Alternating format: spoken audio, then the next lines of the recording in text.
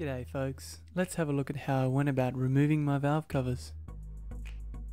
The engine I'm showing today is the L98 from the 1989 C4 Corvette. First I had to remove the AC compressor. I found it easier to remove by undoing the bottom bolts first. I then disconnected the air pump lines, the spark wires and the EGR tube. I only disconnected the injector connector from the left harness and then cracked open the cover.